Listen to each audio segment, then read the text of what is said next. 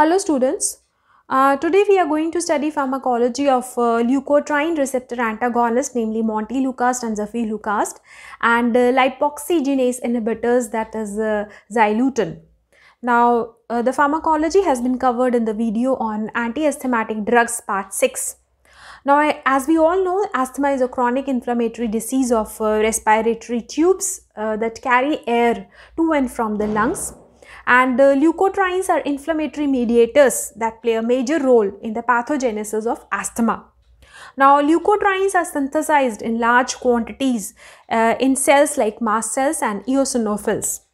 Now, uh, let's classify leukotriene uh, modifiers. Uh, leukotriene modifiers are of two types. Uh, the first type is the leukotriene antagonist and these drugs they competitively antagonize cysteine leukotriene 1 receptors located on uh, bronchial, bronchial smooth muscles and airway tissue. Examples are montelukast and zafirlukast.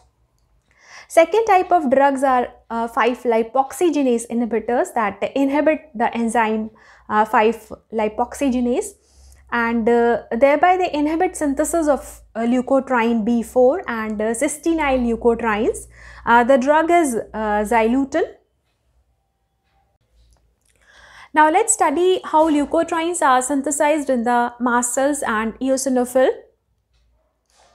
Now this diagram depicts a phospholipid membrane of mast cells and eosinophil. Uh, arachidonic acid uh, is uh, esterified in the phospholipid membrane. Now inflammatory stimuli like dust particles, fumes, pollens activate phospholipase A2 that releases uh, arachidonic acid from the phospholipid membrane. Uh, then 5-lipoxygenase enzyme converts uh, arachidonic acid into uh, leukotriene A4 which is an unstable epoxide.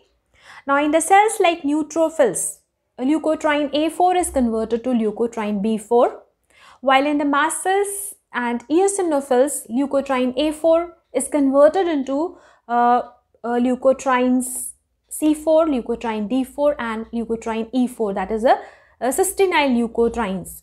Now these cysteine leukotrienes bind to cysteine leukotriene 1 receptors on the surface of bronchial smooth muscles and other tissues and they cause bronchoconstriction. Uh, that is the cardinal symptom of asthma. These leukotrienes uh, they increase the production of mucus. They are also responsible for increasing the vascular permeability and they also increase uh, recruitment of uh, eosinophils which further enhances the inflammation.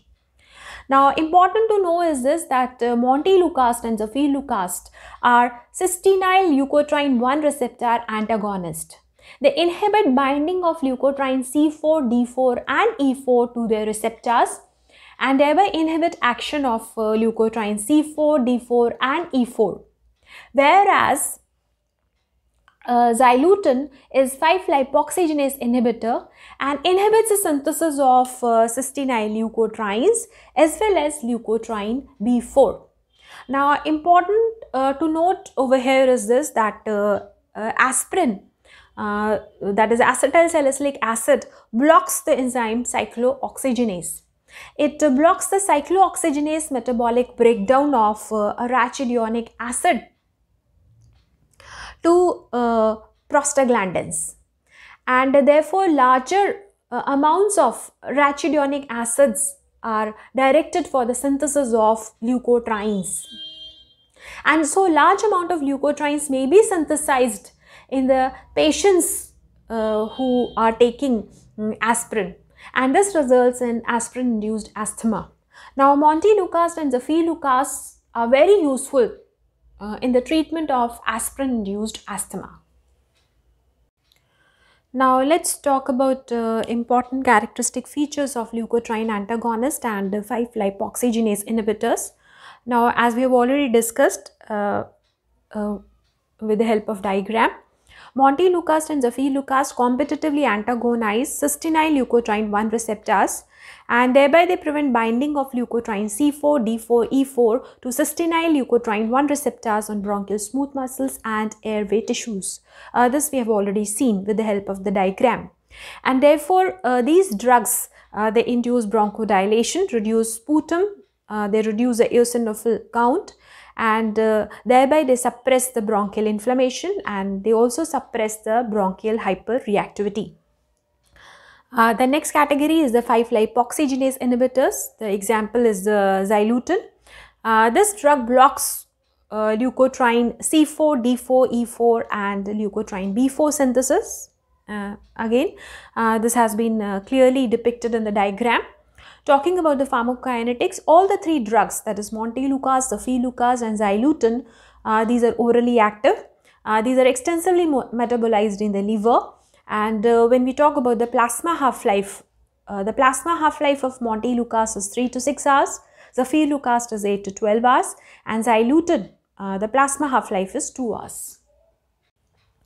Now talking about therapeutic uses, zileuton is uh, seldom used. It is uh, rarely used because of the hepatotoxic potential and very short half-life. Talking about the therapeutic uses of leukotriene receptor antagonist. Now these drugs, they suppress the uh, bronchial inflammation.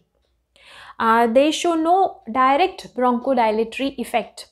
And these drugs are used as add-on therapy. They are used as adjuvants they're used in combination with low or moderate doses of inhaled corticosteroids. Uh, these are used as adjuvants uh, along with the inhaled corticosteroids to reduce the doses of inhaled corticosteroids. Uh, these are moderately effective in aspirin-induced asthma as we have already discussed uh, while discussing the diagram and uh, uh, they're also moderately effective in exercise-induced asthma and uh, these drugs are also indicated uh, in the prophylactic therapy of mild to moderate asthma. Now talking about the adverse effects, uh, leukotriene receptor antagonists are safe drugs. Uh, however, they produce side effects like headache and rashes. Uh, since they are metabolized in the liver, uh, they can elevate, elevate serum trans transaminases and eosinophilia and neuropathy are also seen but these are rare incidences. So this is in brief about the pharmacology of uh, leukotriene modifiers and their role in the management of asthma. Now if you find the video useful kindly like, subscribe and share this video. Now very important to note that this video is meant only for the educational purpose. And uh, thanks for watching the video.